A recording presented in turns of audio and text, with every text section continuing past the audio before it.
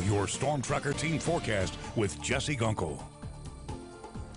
Welcome back. Well, the next 24 hours are going to look a little bit different out there. When you step out the door early tomorrow morning, expect those temperatures to be sitting in the mid to upper 40s. So we've got a nice little warming trend ahead of us for at least the next few days. By tomorrow afternoon, Daytime highs will sit in the upper 60s and lower 70s across the area. We're also going to see a little bit of cloud cover. Once again, it was nice to get a few hours of sunshine today, but as you see here over the next few hours, look for those clouds to re-enter the picture and they'll be making their way in from the west. Even the possibility of some light rain. A lot of moisture moving inland ahead of that next front going into tomorrow. So you can even see it off in the distance here with our live sky cam. Those clouds well down the road over towards Lafayette at this point. Notice the current temperature is 60, a pretty comfortable afternoon. Right now, our winds are rather calm. So here you go. We hit 60 this afternoon. That's pretty seasonal for us. We started out at 42, almost a picture perfect day for us. A lot of sunshine heading into midwinter.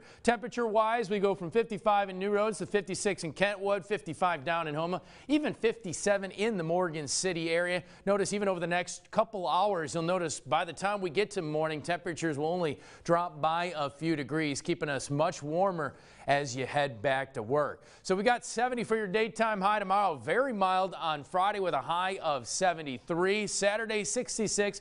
Maybe some areas very close to 70, all ahead of that rain. And then obviously on the backside of that next cold front, temperatures are going to quickly drop going into Sunday highs in the upper 40s and those overnight lows by Sunday night heading in early Monday. Well, they're going to start out in the 20s. So satellite and radar picture outside. You see a little bit of light rain off in the distance, a little bit of cloud cover continuing to move in as we move forward. Here's the big scenario. That front's going to dip, but kind of stall out across the area. That's the concern. That's why we do have the possibility of a few showers in the days ahead. We're still waiting on that system well out west near the Pacific coast. That's the one that's going to move in here and quickly drop our our temperatures. As you notice here, Futurecast, again, the chance for a light shower, maybe even overnight heading into tomorrow. By the time we get into the evening, a little bit of clearing, but very short-lived because as soon as we move back into Friday here, again, the possibility of a brief shower. And then here's the concern going into Saturday. We're talking most likely midday, so late morning going into the afternoon hours, the possibility of a strong thunderstorm or two, kind of indicated with the red here. Stay weather aware.